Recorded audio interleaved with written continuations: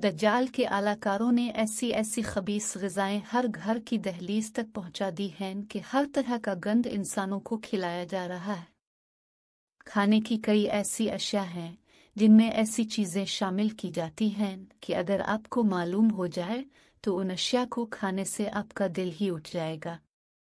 शामिल की जाने वाली उन चीज़ों में एक कैसेटवर्म भी है, जो दर हकीकत ओदुबलाओ नामी एक जानवर की मिकत से निकलती है। ये जानवर चूहे की शक्ल का और इंतहाई कुर्री होता है।